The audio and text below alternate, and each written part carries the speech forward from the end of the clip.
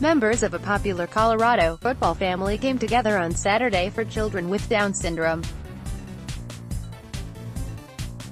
The McCaffrey brothers along with their dad Ed, some former and current Broncos players and the Denver Broncos cheerleaders teamed up to get the kids on the field. They helped some of them play football and taught others to cheer them on. It was part of the Dare to Play Football and Dare to Cheer game day at Valor Christian High School by Michael Abeyta Highlands Ranch, Colo, CBS 4. Like most Coloradans, Jeff McGarity and his son Jeffrey and daughter Cecilia are Broncos fans. We're Broncos fans no question, yeah absolutely, said Jeff.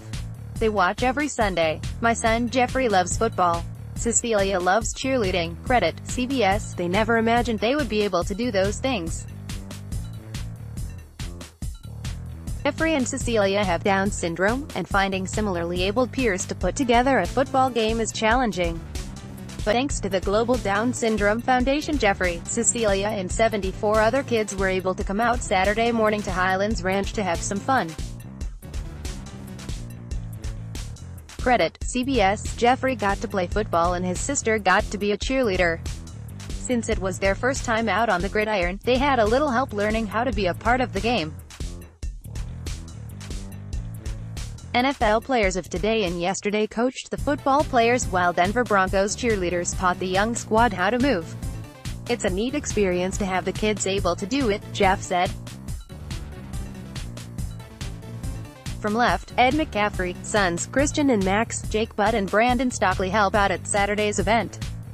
Credit, CBS, it means a lot to the parents to see their kids succeed and have fun. And on a Saturday in June, it's hard to think of a better place to spend your morning. Share your story, share a together for Colorado story idea with CBS 4, a great day like this, it's families coming together. It's cool to have everyone here, Jeff said. Michael Abeyta is a fourth-generation Coloradan and a multimedia journalist for CBS 4. His stories can be seen on CBS 4 News at 5.